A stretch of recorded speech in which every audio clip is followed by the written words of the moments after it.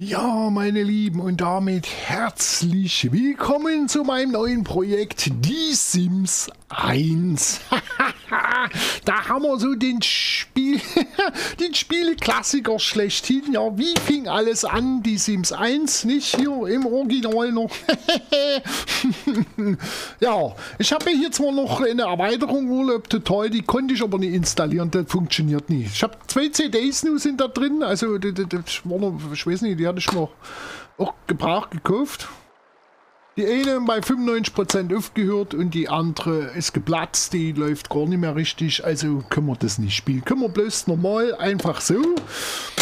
Ja, ich habe schon mal zwei Folgen aufgenommen gehabt, aber wie gesagt, dann wollte ich das installieren und habe aber vorher den Spielstand gespeichert und schwuppdiwupp machen wir das Ganze nochmal von vorn, weil es so schön ist. Vielleicht bringen wir es ja dann richtig. Ja, ich spiele das Ganze unter Windows XP. Ja, aufnehmen tun wir es mit Linux, wie sich das gehört. Und ja, meine Lieben, da würde ich sagen, lange Rede, kurzer Unsinn. Wir fangen wie immer an. Aufnahme habe ich gedrückt, Mikro geht schon, scheint hoffentlich dann gut zu funktionieren. Musik habe ich ausgemacht. Ja, weiß jetzt nie, dann werdet ihr sehen. Wenn am Anfang Musik läuft, ist das freie Musik, jedenfalls nicht die von, oder es ist ganz stumm und dann muss ich noch mal gucken, das werdet ihr dann sehen, wenn ihr an der Stelle angekommen seid. Wir hören das Rauschen des Wassers, nicht? So. So wird das Spiel gespielt. Stimmstraße Nummer 7. Da fangen wir doch mal an. Wir fangen mal an, wie das Spiel gespielt wird. Zack. So. Da gucken wir mal. Aber ich habe ja, wieso kommt jetzt kein Tutorial Himmel Donnerwetter nochmal? Wie wird denn das nur gespielt? Ich weiß doch gar nicht, wie es gespielt wird. Ah, dieses damit Zoom-Level. Drücke ihn erneut, um das heranzoomen. Jetzt kommt sie. Man musste erst einmal hingen, wahrscheinlich, du. Soll ich normal drücken? Nicht, drücken wir mal. Weil es erschien, das ist das Tutorial, ob ich das spielen möchte. Da schon mal der Audio-Eingang dann doch auf Speichern gedrückt habe, hat er mir dann wahrscheinlich keine Ahnung. Ich sehe hier nicht durch. Wir spielen das Tutorial, damit wir wissen, wie es geht. So, es gibt Familien durchsuchen den Cursor an die verschiedenen Seitenenden. Aha. Da kann man so und so ist sehr hübsch. Und so kann man das auch machen. Ah. Schräg, herrlich. Und wieder schräg hier unten. Sehr schön, sehr schön. Funktioniert einwandfrei. So. Was muss man jetzt machen? Ah, gut, aber Hilfe der Mausrad scrollen. Äh, mit Hilfe der rechten Maustaste scrollen. Ach so, äh, das geht ein bisschen zu flott, geht mir das so flott. So. Mhm. So, was haben wir jetzt? Jetzt wollen wir uns das Ganze aus einer anderen Perspektive anschauen, indem wir auf den Drehen-Button unten klicken. Ah, zum Glück leuchtet da ein Pfeil. Bumm. Oh Gott, ja. Sehr schön. So, was müssen wir jetzt machen? Jetzt, wo du weißt, wie du die Perspektive steuerst, wird es Zeit, in den Live-Modus überzugehen. Drücke das Live-Symbol unten. Das drücken wir mal. Aha. So, im Live-Modus beginnt die Simulation. Hier kannst du deine Sims steuern oder einfach nur zuschauen, was sie machen. Nur in diesem Modus geht die Zeit weiter. In allen anderen Modi, Kauf, Bau, Kamera und Optionen Modus wird das Spiel unterbrochen. Na so, jetzt drücken wir mal auf OK. So. Unten in der Steuerungsleiste erscheinen Familienmitglieder. Diese Familie besteht derzeit nur aus einer Person. Der Willi. Ach, jetzt wissen wir, wie er heißt. Es ist der Willi. Klicke auf Willis Kopf auf der Steuerungsleiste, um ihn auf dem Bildschirm zu zentrieren. Aha. So haben wir den zentriert. Und jetzt lernst du Willi zu steuern. Bewege den Cursor auf Bibabum. Vergewissere dich vor dem Klicken, dass du den Fußkursor verwendest. Aha. Wenn das Pop-up-Menü erscheint, musst du den Cursor über die markierten Worte hierhin gehen, bewegen, bevor du diesen Befehl auswählst. Aha, klicken wir doch mal drauf. Jetzt soll er mal dorthin gehen. So, gut gemacht. Schau, wie Willi an die bestimmte Stelle geht. Na, das schauen wir doch mal. Mensch, du. Die Sims können mit allen möglichen Objekten und Subjekten im Spiel interagieren. Bewege dazu den Cursor über verschiedene Objekte. Mhm. Objekte, die aufleuchten, kannst du beeinflussen. Klicke auf eines dieser Objekte und gib Willi einen Befehl. Aha. Die leuchten hier. Was ist das hier? Einschalten. Mhm. Soll er mal einschalten.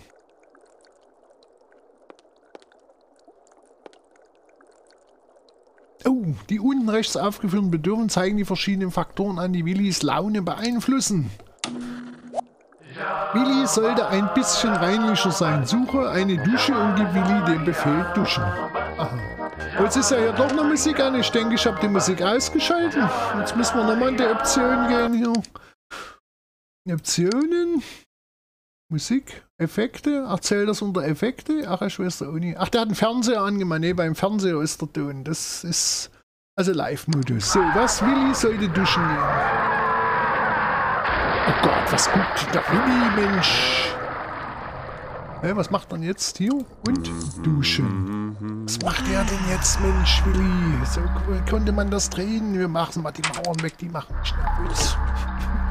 Man sieht ja nichts. Obwohl, das kommt noch im Tutorial. Siehst du den Hygienebalken unten? Die grüne Pfeile zeigen an, wie dieses Moment befriedigt wird. Oh, es steigt, es steigt. Hier, meine Lieben, hier sehen wir, dass es steigt. Ja, für alle, die die Sims nicht kennen, ne, weil für mich ist das auch völliges Neuland. Ja. Muss man da ein bisschen hingucken jetzt. Müssen wir dringend machen. Oh, der ist ja nackig, du. Und mit verpixelt, du. Dann sieht man nackig gar nicht. Sowas. Klicke auf die verschiedenen Bedürfnisanzeigen. Jede erklärt sich selbst und gibt ein Beispiel, wie du das Bedürfnis befriedigen kannst. Verschiedene Dinge befriedigen ein Bedürfnis unterschiedlich gut. Ach so. Wohnung. Wohnung. Die Sims mögen große Räume mit vielen Zimmern. Aha, Kunstgegenstände einer hochqualitativen Einrichtung. Was sie mögen, keine kaputten Gegenstände, schmutziges Geschirr oder Abfall. Was soll das tun? Die Sims sind soziale Wesen. Aha. Spaß, ja, jeden machen andere Sachen. Spaß, Energie, oh, Kaffeemaschine, ah ja, Bett, Hunger. Ach, was essen müssen die auch? Das ist ja nicht zu fassen. Die Komfort, Hygiene, na, sauber war ja gerade. So, ja. Was muss man jetzt machen? So, wenn du die meisten dieser Bedürfnisse im grünen Bereich hältst, ist dein Sim glücklich. Du solltest immer bestrebt sein, die Grundbedürfnisse deines Sim zu befriedigen. Jetzt wollen wir den Kaufmodus anschauen. Klicke dazu auf den Kaufbutton. Da klicken wir mal. So. Gut, nun bist du Kaufmodus. Jetzt steht die Zeit für Willi still. Hier kannst du Willi sauer verdientes Geld verprassen. die Symbole auf der linken Seite der Kaufleiste stellen die verschiedenen Kategorien dar. In diesem ah. Okay. Ja. Schau dir den Kaufkatalog an und wähle einen Stuhl für Willi aus. Der braucht einen Stuhl. Was brauchen wir einen Stuhl? Der steht da ganz gut. Willi steht ganz gut. Hat er überhaupt ein Wohnzimmer? Ne, der hat eine Küche, der ärmste ein Schlafzimmer. Und im Wohnzimmer ist ja gar nicht die Rede. Eine Terrasse hat er noch, du, eine Terrasse. Ne, da wählen wir mal einen Stuhl aus. Was nehmen wir denn hier? Oh Gott, wir haben mal Willis Geld verprassen. So, jetzt haben wir den Stuhl ausgewählt. Hm. Aha, so, haben wir. Jetzt, gut, und jetzt wollen wir drehen und bewege den Handcursor über das Objekt, so dass er markiert wird. Ah, halte die Maustaste gering und ziehe sie in Richtungen, die das Objekt weisen soll. Okay. So rum wollte ich das. So. Du weißt ja, du kannst jederzeit in den Kaufmodus zurückgehen, um neue Objekte zu kaufen oder vorhandene Objekte im Haus umzustellen. Aha. Jetzt wollen wir in den Live-Modus zurückkehren. Da ist der Pfeil, das müssen wir auch richtig machen. So, sehr schön. Was haben wir jetzt? Wenn du deinen Sim keine Befehle gibst, machen sie, was sie wollen. Ihr Verhalten ist von ihren gegenwärtigen Bedürfnissen ihrer Persönlichkeit bestimmt. Mal sehen, was Willi für eine Persönlichkeit hat. Klicke auf den Persönlichkeitsbutton. So, klicke auf die Eigenschaften, um in Pop-ups Willis Charakterbeschreibung zu sehen. Aha, Gelegenheitsaufräumen, das ist gut.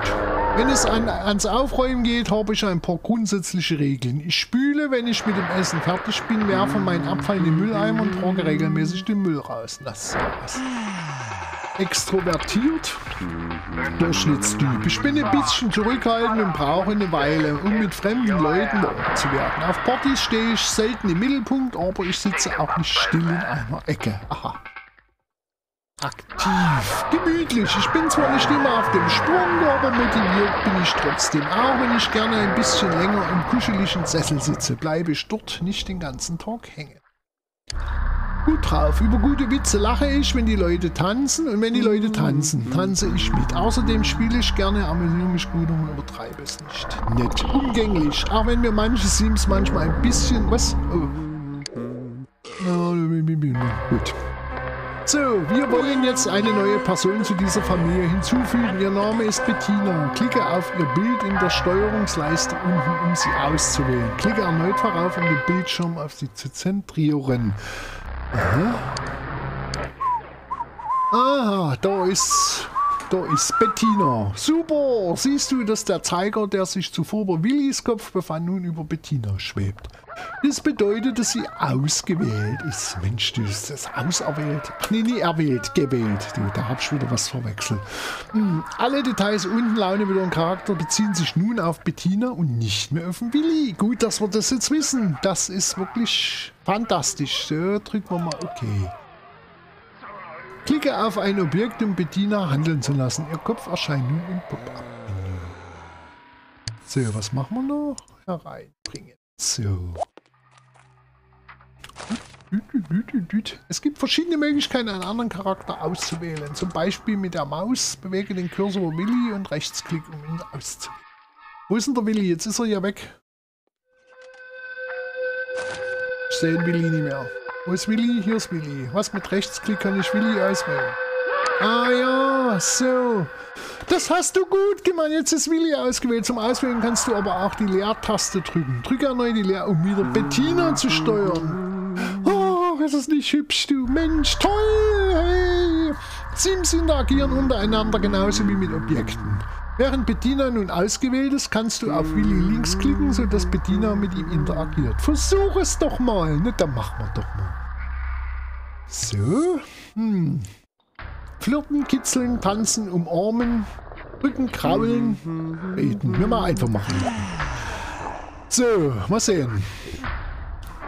Geht jetzt der Willi zur Bettina oder der Bettina zum Willi? Das ist jetzt spannend. Ist das richtig spannend? Ah, Bettina geht zum Willi ins Bad vor der Dusche und führen sie eine Unterhaltung. Oh, der Fernseher ist furchtbar. Wo, wo war denn das blöde Ding?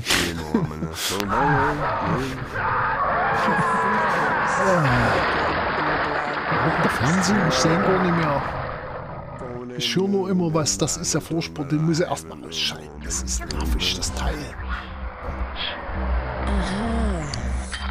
Ausschalten, mal ausschalten, das nervt.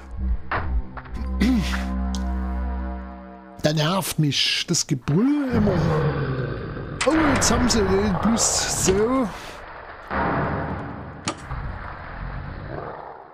Oh, herrlich, herrlich. Oh, eine Ruhe ist das jetzt.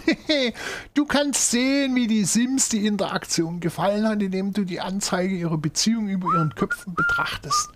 Ein Pluszeichen bedeutet, dass sich die Beziehung verbessert. Ein Minuszeichen bedeutet dementsprechend, dass sie sich verschlechtert hat. Na Donnerwetter. Probiere eine andere Interaktion aus und schau dir die Auswirkungen an. Aha, na was gucken wir mal. Was soll man beim Willi? Soll sie vielleicht mal Rücken kraulen? Ja.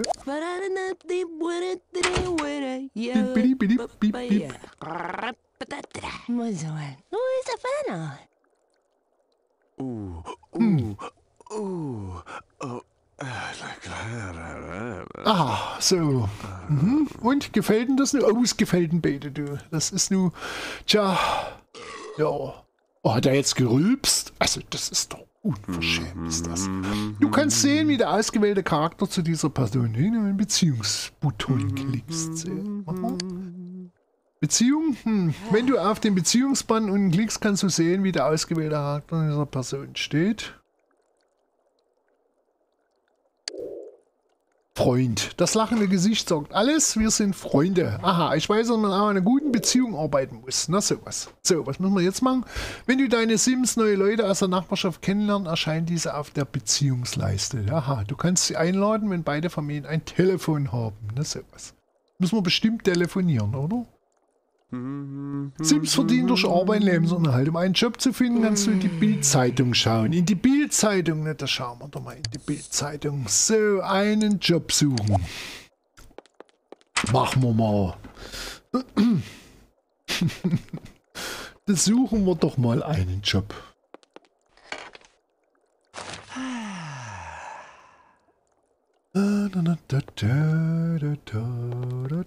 So, was macht sie denn? Wo geht sie denn hin, um einen Job zu suchen?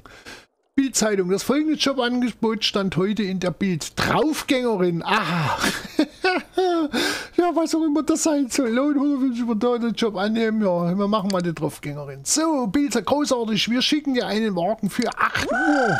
Oha. So, was kommt jetzt? Glückwunsch! Klicke nun auf den Jobbutton und dann erfährst du mehr über den Job. Aha. Mensch, ist das kompliziert, du.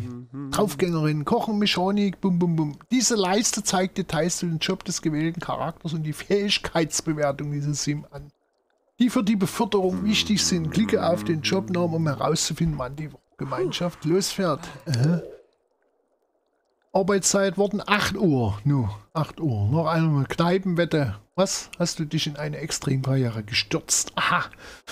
Kurz, du probierst alles aus. Je verrückter, desto besser. Du schwimmst unter der Eisdecke eines gefrorenen Sees durch, springst mit deinem Mountainbike vom Häuserdach zu Häuserdach, schneidest einen Zug den Weg ab oder jonglierst mit einer Kettensäge und pfeifst dabei ein Liedchen. du arbeitest wenig, aber dafür intensiv.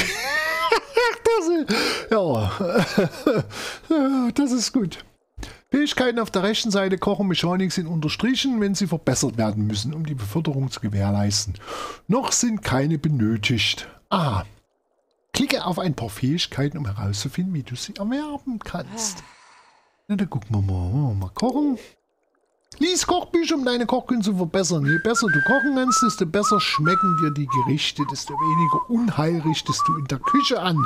Na, da bin ich schon mal gespannt, du.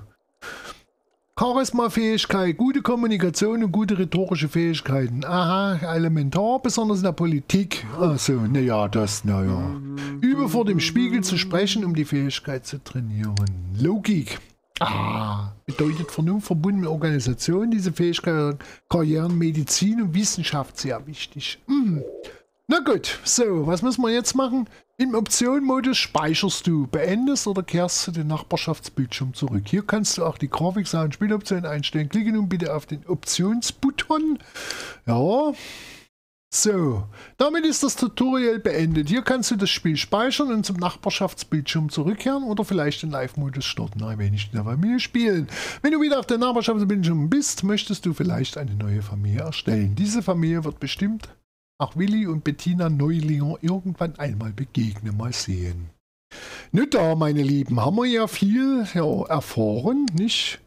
Erfahren. Da würde ich aber sagen, Machen wir an der Stelle erstmal Schluss. No, jetzt wissen wir ja erstmal, wie es geht. No, das Hilfesystem kann ich, ja, ja, ja, ja. Machen wir so. Jetzt wissen wir ja erstmal, wie es geht, nicht? Und dann gucken wir mal, uns dann das nächste Mal unsere eigene Familie machen oder hier ein bisschen weiterspielen. Jetzt drücken wir erstmal auf Speichern. So, jetzt der Eierohr weg und jetzt kommen wir hier Nachbarschaft beenden. Achso. Ja, meine Lieben. Jemand in Nachbarschaft? Ah, da kommen wir hier wieder hin. Gut. Ja, meine Lieben.